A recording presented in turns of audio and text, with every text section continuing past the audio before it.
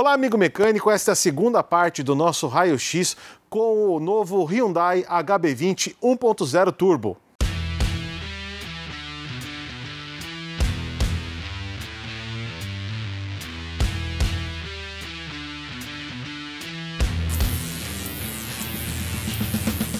Na primeira parte do nosso raio-x com o novo Hyundai HB20, nós vimos toda a parte embaixo do capô. Nós falamos de motor, nós falamos de arrefecimento, nós falamos de tudo o que concerne aí as manutenções preventivas com relação ao novo hatch campeão de vendas da Hyundai. E agora no nosso segundo vídeo, na nossa segunda parte desse raio-x, nós vamos analisar o undercar, suspensão, câmbio e tudo o mais. Mais uma vez com o Edson Roberto de Ávila, o Mingau da Mingau Automobilística, nosso grande parceiro. Obrigado mais uma vez por ter aceitado o convite da revista O Mecânico. Diga para o pessoal que está nos assistindo onde está localizada a Mingau Automobilística.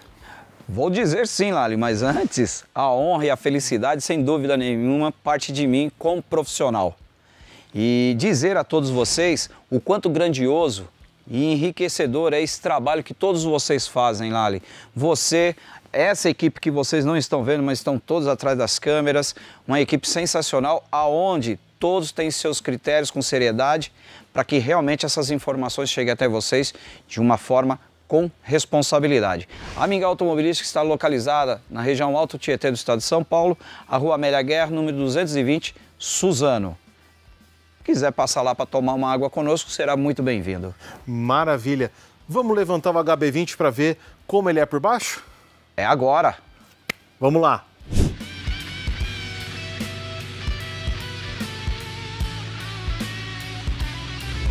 HB20 devidamente levantado no elevador, nós começamos aqui vendo por, por dentro do para-choque que fica bastante visível o intercooler e também o trocador de calor da climatização, né? Sim, sim, Lali. E olha que bem bacana. Olha o, o nível de captação de ar, né? Já, já dá aquela, aquela, aquele direcionamento de visão assim, algo apelativo aí, né? Ele precisa de ar aí. Sem dúvida. Né? Vamos dar uma olhada um pouco mais de perto aqui? Vamos. Vamos que por baixo o acesso é bem mais interessante, né, Lali? Perfeito. Vamos lá.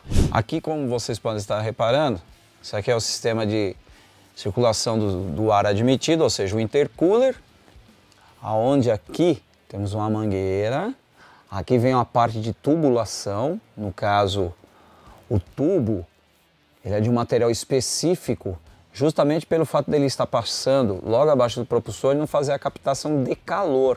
Às vezes vocês vão ter a impressão que é um tubo meio que velho, mas não se trata disso não. Ele recebeu uma camada de um produto, de um componente aonde ele cria essa proteção justamente para essa temperatura não se atingir de uma forma excessiva pelo ar captado pelo sistema de admissão. Logo ao lado, nós temos aqui também o trocador de calor do fluido do sistema de transmissão, aonde ele é acoplado juntamente ao trocador de calor do sistema de arrefecimento, ou seja, o radiador. Seguindo por essa ordem, aqui agora nós temos logo à frente e acima o compressor do sistema de climatização. Então vocês conseguem observar que existe um espaço bastante interessante para se efetuar a manutenção desse componente. Vindo um pouco mais logo aqui à frente, agora estamos à frente do, do propulsor. Após ter feito a remoção dessa capa protetora, olha que interessante, olha o livre acesso que existe para se efetuar a manutenção na parte da correia do sistema de acessórios. E temos um espaço bastante agradável aqui para um futuro caso de se efetuar manutenção na parte da corrente de comando. É um espaço bastante agradável. Aí continuando, agora vamos voltar. Temos aqui o dreno do lubrificante do propulsor, logo ao lado o filtro do sistema de lubrificação. Chegando aqui agora na parte dessa transmissão. Confesso a vocês que eu eu vi essa transmissão, falei, é uma transmissão extremamente robusta, aonde o Lali ele vai estar tá passando para nós as informações, as características desse sistema de transmissão. Lali, passa para nós aí a característica e os números dessa caixa para nós, por favor. Bom, Miguel, isso aqui é o câmbio automático de seis marchas que a Hyundai já utiliza em outros veículos, como por exemplo o Hyundai Creta atual, que você já acompanhou aqui no Raio X, aqui no nosso canal, o mecânico, e as condições que a Hyundai prevê para manutenção são as mesmas. Ou seja, em condição normal, ela não prevê troca de óleo em condição normal, né, como eles é, descrevem. Porém, na questão do uso severo, eles preveem ou eles recomendam uma troca de fluido a cada 100 mil quilômetros, sem prescrição aí de tempo, né? Apenas por quilometragem. Então a gente cai mais uma vez naquela questão daquilo que é uso severo. E a gente já concordou aqui e já comentamos em outros vídeos que o uso urbano normal em grandes metrópoles, como por exemplo trânsito pesado, como por exemplo a, as condições de trajetos curtos, são condições em que o conjunto propulsor, ou seja, o trem de força, sofre. E não é pouco, Lali. E por isso precisa dessa manutenção mais cuidadosa, né? Exatamente. A atenção ela tem que ser certamente redobrada. O porquê que eu digo que tem que ser redobrada, Lali? Justamente por conta do comentário que você fez em relação ao quanto ela é utilizada e a forma que ela é utilizada. Então sabemos que na prática, na prática, Lali, não é dessa forma que nós vamos ter um resultado positivo. Ou seja, deixar bem claro, como da, dos outros trabalhos que nós já fizemos aqui, juntamente à revista O Mecânico, e procuramos deixar sempre bem claro o nosso posicionamento profissional. O nosso posicionamento profissional, Lali, ele é condizente com aquilo que nós detemos no momento da manutenção, ok?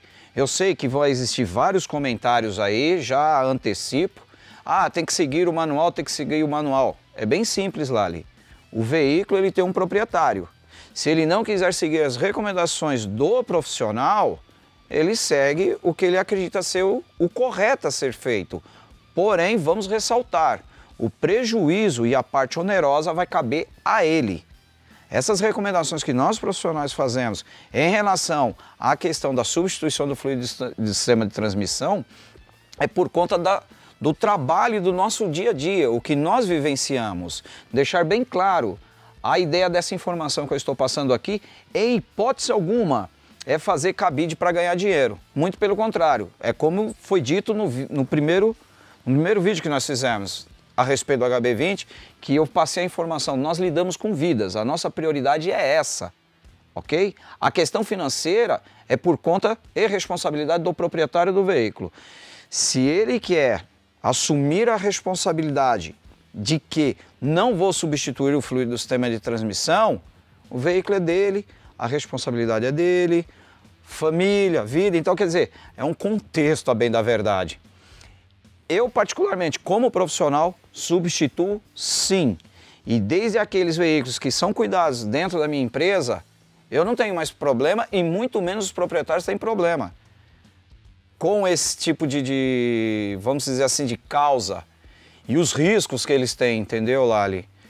E de mais a mais, o investimento que vocês vão fazer para se efetuar esse processo, podem ter certeza que é bem abaixo do que caso vocês venham a ter problema com a transmissão por conta da ausência da substituição do fluido, fora os riscos pessoais também que eles vão ter lá ali.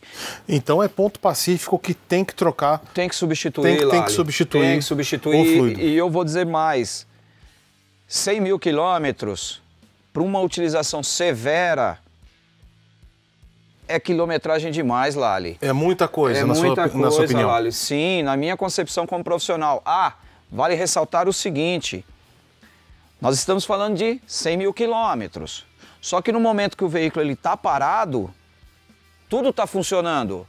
Ah, não, Mingau, mas ele não está engrenado, o fluido está parado. Não, ele não está parado. O fluido está em constância. Então ele está sofrendo o calor, que é justamente a, a, questão do motor propulsor em trânsito, é, tudo que foi citado, o que faz com que exerça uma, uma força maior na relação de condições, ele vai se esforçar mais. Isso é, é, fato, isso aí não é nem número. E justamente por forçar mais e por não contar no odômetro que trânsito pesado conta como uso severo. Exatamente. E o que seria benéfico acaba se tornando maléfico. Porque o desgaste, o fluido desgasta, Lali. Lubrificante desgasta, como nós explicamos no primeiro vídeo. Tudo isso ele acarreta numa degradação no caso do fluido da transmissão, do lubrificante e até propriamente do fluido do sistema de frenagem. Todos eles são comprometidos. Sem dúvida. Então vamos ser realistas, né? Vamos ser realistas. Aqueles, vocês proprietários, que acreditam realmente que tem que seguir o manual, o veículo é de vocês, é tranquilo, sigam.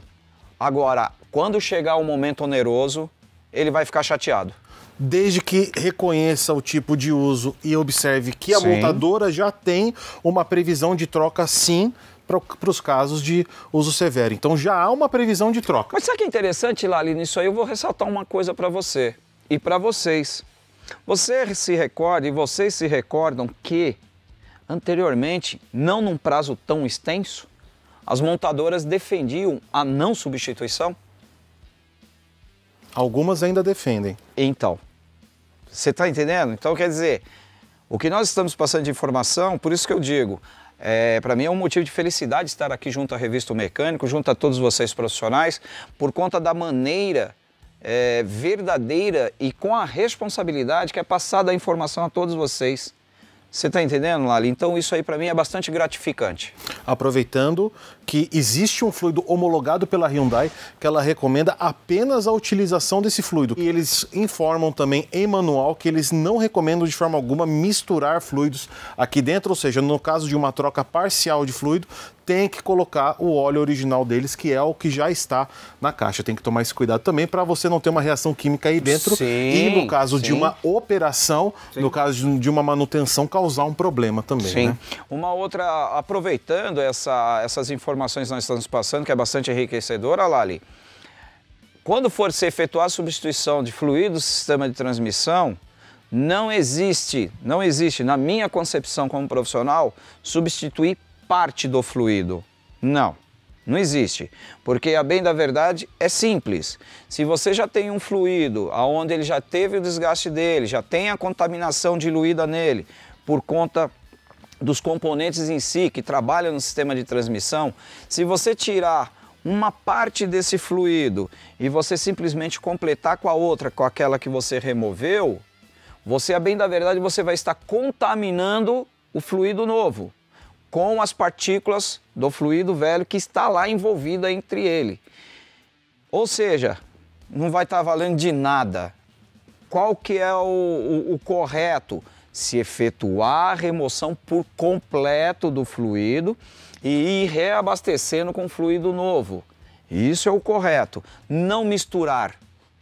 Não misturar. Eu, fizemos a manutenção, o fluido está com 40 mil quilômetros, sei lá. Vamos supor que há necessidade de substituir o vedador de semi-eixo. Então ele vai cair um, um pouco de fluido. O profissional ir lá e completar. Negativo. Você vai estar contaminando o novo com o velho que está na caixa, não tenha dúvida. Certo. Essa é uma questão ainda de muita discussão no mercado Bastante. que levanta muita polêmica.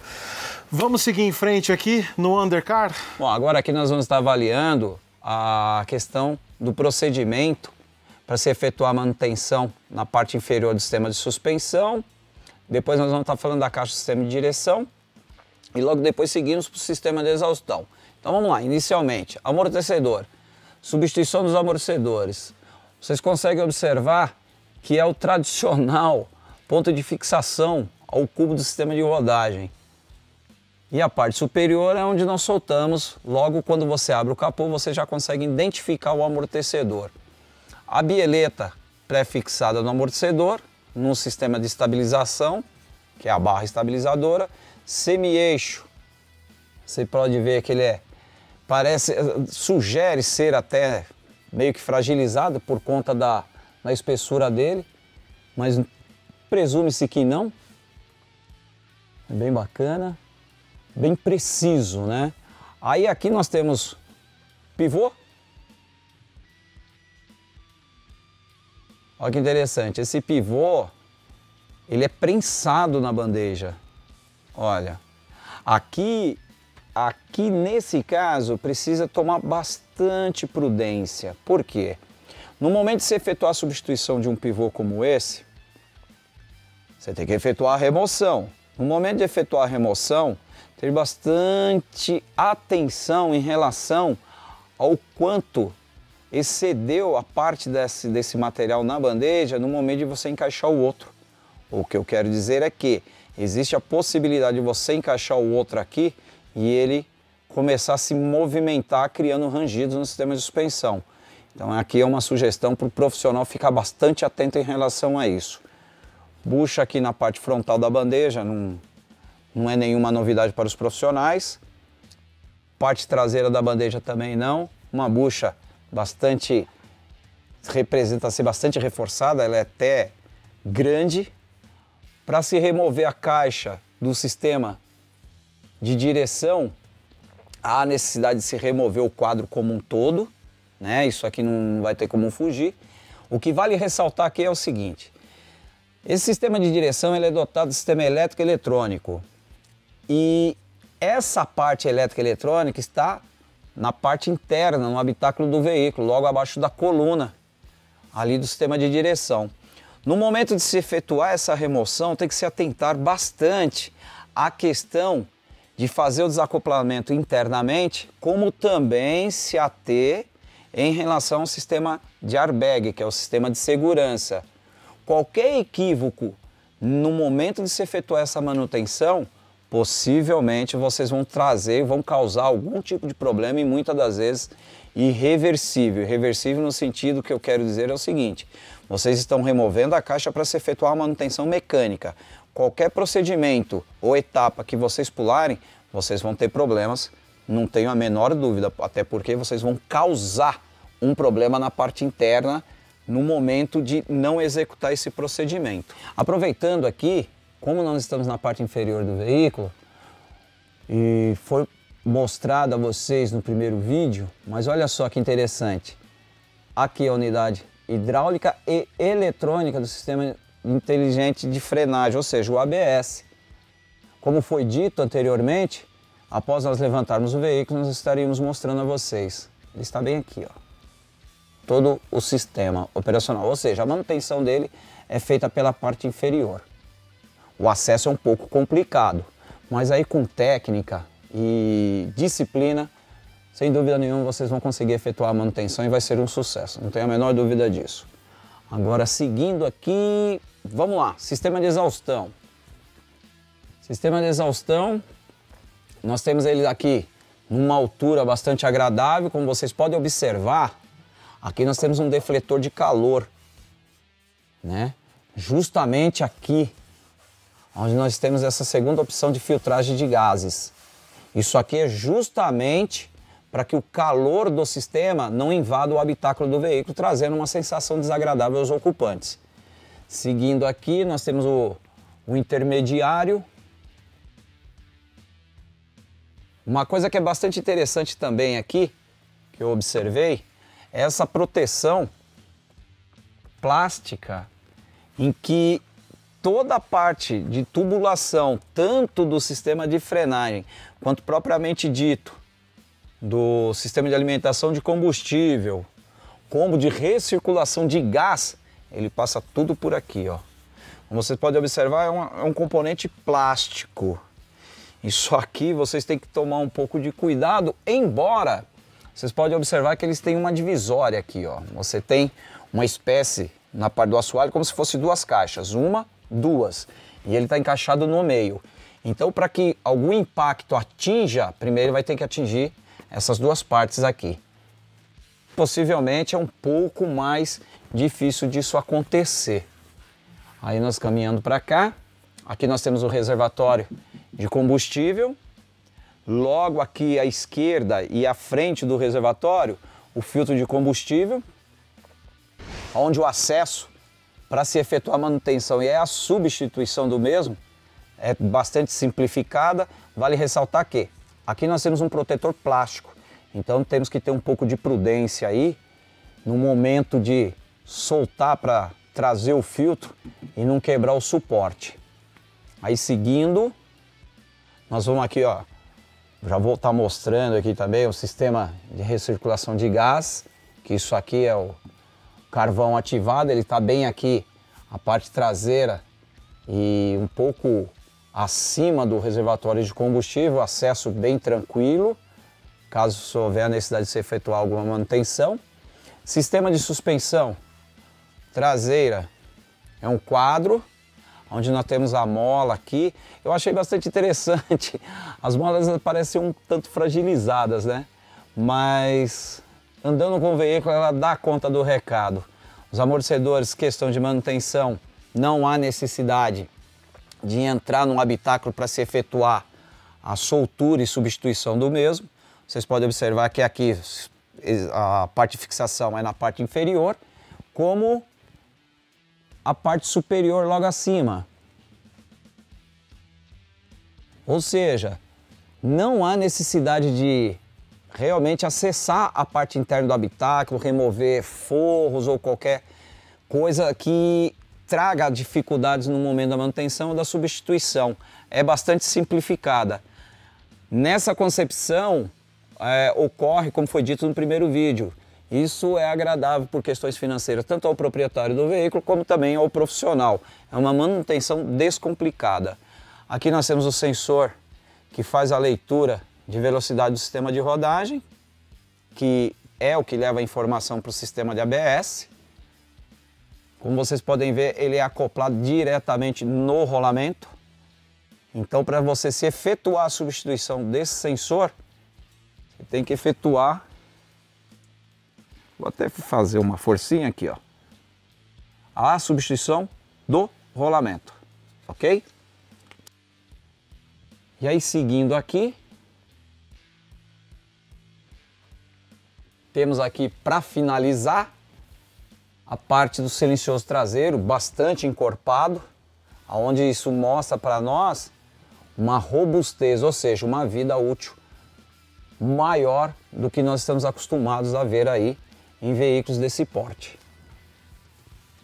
E é isso aí. É isso aí. Agora, o que, que nós vamos estar fazendo? Vamos estar indo na parte do sistema de frenagem. Nós vamos estar tirando o sistema de rodagem para estarmos fazendo a avaliação mais de perto. Vamos lá? Por fim, mas não menos importante, aliás, mais uma vez reforçando, o sistema mais importante do veículo, os freios do HB20 2023. O que, que você pode dizer para a gente aí, Mingau? Aqui, Olali, de uma forma bem simplificada, eu vou passar essa informação por conta do tradicional sistema de frenagem. Já é conhecido, sem dúvida alguma, pelos profissionais aí que atuam. A, a pinça é uma pinça hidráulica, onde você tem um único cilindro, um único pistão. A forma de remoção é já uma maneira universal conhecida pelos profissionais, não tem aqui ah, uma ferramenta, algo específico para se utilizar para se fazer a manutenção. A atenção que nós temos que sempre dar aqui é a questão dos discos do sistema de frenagem, aonde as limitações deles passaram a ser mais assertivas, ou seja, tomarem bastante prudência e principalmente cuidado com a questão das retíficas, que antigamente era costume se executar, né? Hoje já temos que tomar um pouco mais de cuidado em relação a esse procedimento, até porque você pode observar que se trata de um disco, do sistema de frenagem, ele se trata de um disco ventilado, ou seja, ele praticamente ele é dividido para que a, a ventilação possa se infiltrar entre ele para que a eficiência se sobressaia. Questão do cabeamento aí, flexível. Também é tudo certo, tudo tranquilo, não tem dificuldade nenhuma na questão da manutenção. Uma coisa aqui que é interessante salientar, Lali, aqui esse, o sistema de rodagem desse veículo como um todo, ele é todo sensor, sensoriado. Nesse caso, quando se for executar manutenção, por exemplo, aqui no amortecedor dianteiro, Lali, Vale ressaltar que é interessante desacoplar o sensor por conta dos movimentos e aqui observamos que já é o desses atuante nesses veículos mais novos, a parte do chicote desse sensor, você percebe que ele é delicado, ele é sensível. Até porque se trata de um sensor onde a recepção de sinal, onde ele leva a informação para a unidade, é um sinal PWM. Então o que, que acontece? Qualquer movimento um pouco mais brusco, existe a possibilidade de você criar um defeito nesse chicote. Sendo assim, ele vai sofrer com a interferência e vai passar a mandar a informação daquela que não confere aqui. Consequentemente, ele vai captar como defeito, havendo a necessidade de substituição do sensor. Então, aqui uma sugestão a vocês, colegas profissionais, momento de você fazer a manutenção no sistema de rodagem aqui, ou mesmo a substituição do amortecedor, desacople o sensor. Fica aí a, até uma, na verdade não é nem sugestão, é uma orientação. Vamos dar uma olhadinha no tambor atrás? Vamos lá. Aqui o tambor traseiro do HB20, a princípio, totalmente convencional, né? Convencional. É, aqui, a, único, a única ressalva que é interessante fazer, Lali, por conta desse sensor, como de tanto. A, a sugestão que vai ser dada aqui serve para tantos outros veículos que adotaram essas tecnologias. O sistema de, de leitura aqui da velocidade, esse sensor, ele é acoplado juntamente ao rolamento. E como é já de hábito de alguns colegas profissionais, então vai uma orientação. Soltou o tambor, internamente você vai ter o cilindro de acionamento do sistema de frenagem, conjunto de molas e a regulagem semiautomática. Ok. Só que sabidamente, existem alguns tambores que têm uma certa dificuldade de remoção lá ali. E aí o colega profissional, ele tem o hábito de dar pequenas pancadas uhum com o sujeito do martelo, que já deveria ter sido aposentado das empresas ou oficinas, para se efetuar a remoção. Não, não façam isso. Todo esse impacto que você está dando aqui para fazer a remoção do tambor, existe uma grande possibilidade de você gerar uma deficiência no sensor. Tomem bastante cuidado com isso, mas bastante mesmo, porque existe a possibilidade de, de repente se executar a manutenção, Mali, é, montar o tambor, fazer a liberação do veículo, passado um tempo, começar a acender a luz de anomalia do sistema de frenagem. E isso aí é um defeito causado. Tomar bastante cuidado com isso aí. A única orientação aqui é essa. De mais a mais, o sistema de frenagem tranquilo para se executar a manutenção. Agora nós vamos repor as rodas que nós tiramos Sim. com um torque de aperto de 90 a 110 newtons-metro para essa roda. Então, que até porque, essa, inclusive, para ficar simplificado para eles, Lali, esse torque é recomendado para todos os veículos desse porte da Hyundai todos os veículos da Hyundai que tem essa porca de 21 milímetros, né? Sim. Especificamente a medida dessa porca das rodas é 21 milímetros. Ela recomenda sempre de 90 a 110 Nm. Então também pode ser aplicado em outros veículos Hyundai com a mesma medida de porca, com esse sistema aí, porca e prisioneiro na roda. Tá. E aí vamos dar agora uma sugestão. Esqueçam um pouco a pneumática. Eu sei que traz alguns benefícios em questão de agilidade, mas a qualidade não. E possivelmente vocês vão estar comprometendo a parte dos fios de roscas, pode ser tanto do prisioneiro quanto propriamente de, da porca. Tomem bastante cuidado com essa ferramenta. É um excelente equipamento, mas tem que ter prudência para poder utilizá-lo da forma correta, Lali. Perfeito. Vamos lá então? Vamos lá, vamos colocar o sistema de rodagem no lugar.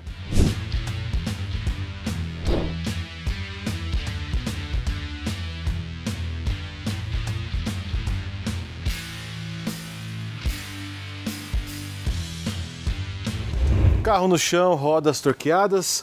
Terminamos aqui de mostrar a reparabilidade do Hyundai HB20 com motor 1.0 turbo em sua nova versão. Ano 2023 está chegando no mercado aí realmente para enfrentar os concorrentes com muita propriedade. É um carro que tem muita tecnologia e, ao mesmo tempo, apresenta uma condição de manutenção que é familiar ao mecânico, né, Mingau? Sim, sim, sem dúvida. Aproveitando aqui, eu já vou começar a tirar os EPIs que é algo que é bem interessante os profissionais realmente se habituarem a utilizá-los. Isso faz parte do processo de trabalho. Lali, tranquilo a questão da reparabilidade, como você mesmo salientou, isso vai trazer benefício tanto ao proprietário, futuro proprietário do veículo, como também a vocês profissionais. Como vocês puderam observar, a questão até. A explicação foi tão tranquila, tão harmônica, por conta justamente do que você comentou, Lali. Os profissionais, eles já estão já habituados no que vão encontrar no HB20. Então, isso só traz benefícios, tanto para o proprietário quanto também para a questão da manutenção na questão do profissional. Muito bacana, Bingal. Muito obrigado mais uma vez por ter participado aqui do Raio X conosco. Como o pessoal que está nos assistindo pode encontrar a Mingal Automobilística nas redes sociais? Olha, nós temos o Instagram, arroba Mingal Automobilística, temos também a, o Facebook, só colocar lá também Mingal Automobilística, vocês vão encontrar. E agora nós estamos com uma novidade lá ali, a Mingal Automobilística, por conta aí de vários puxões de orelhas aí de colegas aí profissionais, de indústrias da qual nós detemos parcerias, fundamos o canal da Mingal Automobilística no YouTube. Mas vale dizer que o canal da Mingal Automobilística, ele não é um canal onde você vai encontrar é, piadas, coisas engraçadas que seriam entretenimento. Não, não é isso. Lá o canal da Minga Automobilística é um canal específico para questões de manutenção automobilística. Lá também, sendo bem claro, você não vai encontrar um passo a passo. Muito pelo contrário. Lá vocês vão encontrar informações técnicas. É isso aí, Lali. Mas se você quiser ver passo a passo com o Mingau, tem aqui no nosso YouTube. Na, juntamente com essa equipe maravilhosa que faz parte, que é uma grande família, que é a revista o Mecânico. Passo a passo aqui vocês encontram. Lá na canal da Mingau Automobilística, não. É o dia a dia da oficina lá que ele vai mostrar para vocês, não é mesmo? Exatamente, é isso aí. Maravilha, Mingau, muito obrigado mais uma vez. E se você gostou desse vídeo, não se esqueça de curtir e se inscrever no canal O Mecânico. Até a próxima.